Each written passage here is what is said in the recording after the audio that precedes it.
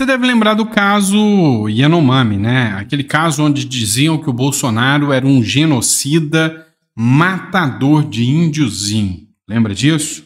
Pois é. O Lula achou uma solução. Acabou o problema do genocídio Yanomami. Acabou no governo Lula o problema com os Yanomamis, com os índios, com descaso com crianças, com idosos, indígenas, com mulheres. Sabe como que o Lula conseguiu resolver o problema? Simples demais. Escondeu os números. Fácil demais resolver assim, né? Matéria do Metrópolis. Yanomami. Governo não atualiza os dados desde o aumento de mortes em 2023. Então, o petista, você que disse que o Bolsonaro era mauzão. Lembra? Houve aumento de mortes dos Yanomamis e você tá, ó, caladinho. Falou nada. Ninguém falou nada, acabou. Lembra disso? Pois é. Vamos acompanhar a matéria? O governo federal parou de divulgar os dados epidemiológicos da missão Yanomami, desde que a polêmica sobre o aumento de mortes registrados em 2023 repercutiu negativamente. O último informe periódico disponível no endereço público, que vinha sendo atualizado até então, é de 22 de fevereiro deste ano, exatamente o mesmo documento que informa o número de óbitos do ano passado. À época, o total de 363 mortes, 6% a mais do que o registrado em 2022 durante a gestão Bolsonaro. Era o Lula que ia salvar os índiozinhos? E agora, sem o governo divulgar os dados, você acha que é porque a situação melhorou ou piorou?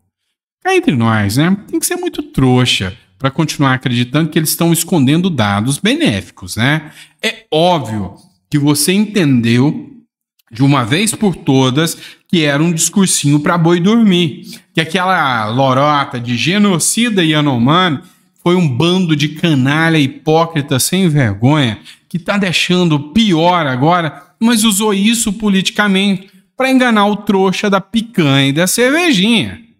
Ou não deu para entender? Então, assim, fica fácil esconder a verdade quando você esconde os números. É por isso que eu não acredito muito nos dados divulgados aí por por alguns, tá? Por alguns institutos de pesquisa, dentre outros.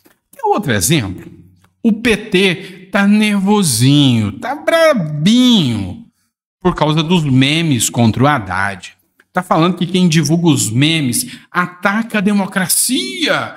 Por isso as redes sociais têm que ser regulamentadas. Afinal, são monstros canalhas, bichos do mato que atacam a democracia. Mesmo? Sério?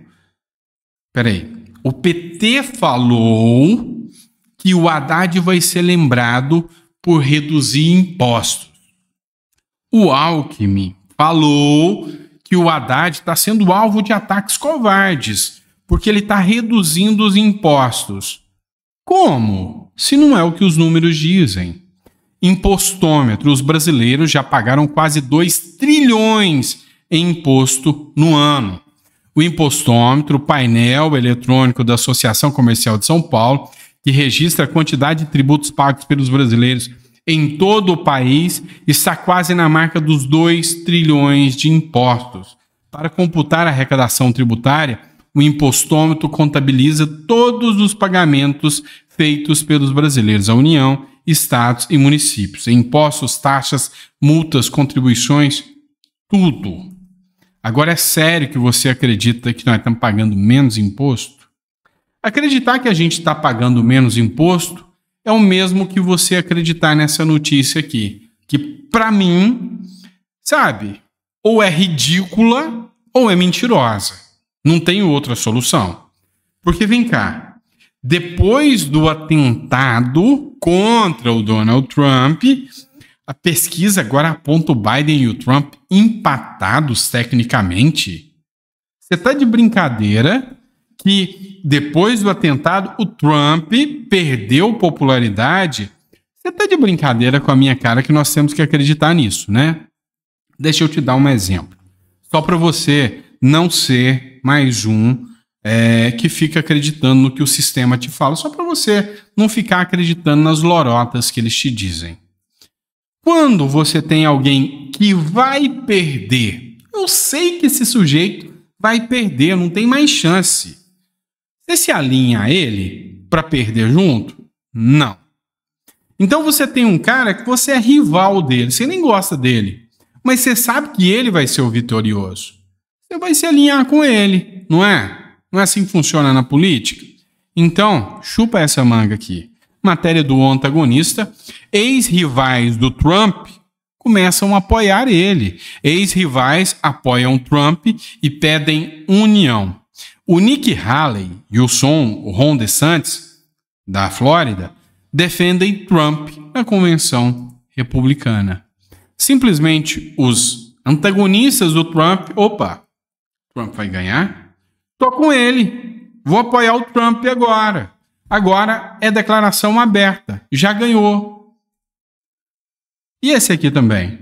Depois do atentado, rasgou o verbo. Ó, oh, vou dar dinheiro para doação, vou ajudar e está existindo uma grande frente ampla para apoiar o Trump. Elon Musk mobiliza o Vale do Silício para apoiar o Trump. Bilionários da tecnologia reforçam campanha de Trump com doações bilionárias. Vem cá, chora esquerda, tá? Pode chorar. É o seguinte, presta atenção. Os caras viram que o Trump já está eleito. Os caras sabem que o Trump vai dar liberdade econômica para os Estados Unidos. E os caras estão fazendo uma mobilização no Vale do Silício. O Vale do Silício é onde fica uh, as gigantes da tecnologia, as principais empresas de tecnologia que movimentam bilhões de dólares por mês. E essa turma já viu que já era para a esquerda. O Biden é, não está em condições nem de governar seu próprio caminho, quem dirá um país. Não largou o osso ainda. A esquerda, os democratas, começaram a brigar com o próprio Biden para ele largar o osso. E aí, agora, o Trump sofre um atentado. Logo depois do Biden falar para os seus apoiadores que o Trump precisa ser o próximo alvo. Opa, é difícil acreditar que os dois agora estão empatados tecnicamente, uma vez que o próprio Trump já estava à frente. Eu prefiro acreditar na Gazeta do Povo que aqui, na minha visão, disse a verdade. O Trump avança na corrida eleitoral contra Biden, aponta nova projeção. Uma projeção eleitoral atualizada nessa quarta-feira pelo jornal Economist aponta que Donald Trump está com ampla, não é uma ou outra, não é ampla vantagem contra o atual mandatário americano, né? Ou seja, tá além e vai subir cada vez mais vai ganhar apoio cada vez mais, tá? É simples assim. É simples assim, tá bom? Pessoal, hoje o editorial vai ser mais rápido por questões pessoais. Amanhã, não, 9 horas, tá? 9 horas eu volto aqui para a gente trazer mais um aparato de notícias aqui para vocês, tá bom? Abraço, fica com Deus e até o próximo editorial.